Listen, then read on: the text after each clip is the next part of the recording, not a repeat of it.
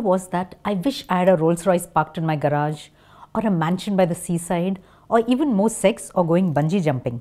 The biggest regret of people who are dying is simply this I wish I had the courage to live a life true to myself, not the life that others expected of me. This was the most common regret of all, as recorded in the book Five Regrets of the Dying. When people realize that their life is almost over and they look back on it, it's easy to see how many dreams have gone unfulfilled. Most people had not honored even half of their dreams, and they had to die knowing that it was due to the choices that they had made or the choices that they had not made.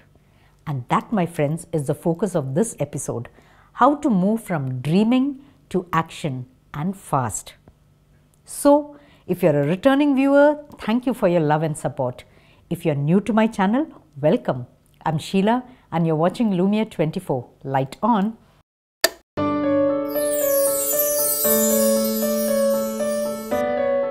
If there's one thing that I've been accused of time and again since childhood, it was for not following this adage of look before you leap.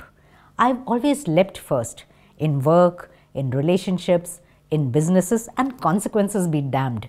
No overthinking, no overanalysis, not too much of what ifs.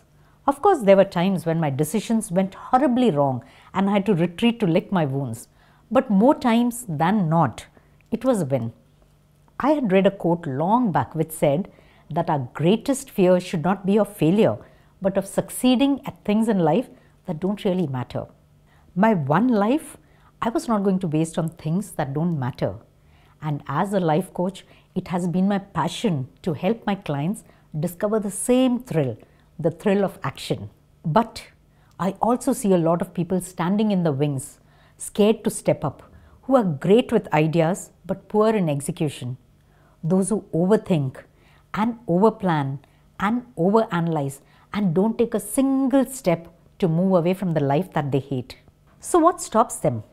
There's fear of failure, there's fear of success, and one of the things that I see most often the need to be perfect with all the ducks lined up perfect opportunity, perfect time, perfect people, perfect script. Now, here's the thing success happens in action, not in preparation. Every experience, every experience that you have gives you data. It gives you information, knowledge, feedback, and you can use this to get the results you want. And the only way to get to that priceless data is to take imperfect action. When you have an idea, a goal, or a dream, you need to take action on it as soon as possible, even if it's not perfect, even if you don't have all the answers, even if it's scary. Of course, it will push you way past your comfort zone, but the rewards are more than worth it. Only action can give you the clarity on what's working, what's not working, and what you need to change. Taking a single imperfect action kickstarts the momentum, making it easier to take the next action and the next. And with every action you take, you're rewarded with more confidence, more momentum, and better results, creating a beautiful cycle where one good thing builds on the last until one day you stop, look around, and realize you've done it. You've arrived at awesome. Now, I'm not saying that action will get you only success. You will stumble and fall, much like a child learning to walk. But if you focus on the process and let go of your attachment to the result, your starting point would have moved. You would be further up on the road that you want to be on than when you started. Because this I know for sure. Unless you take consistent action, despite the fear, despite the inconvenience, all you will be left with is a far off dream. I know too many people who have now been stuck in the same spot for years. Someday, you will regret that you didn't start earlier.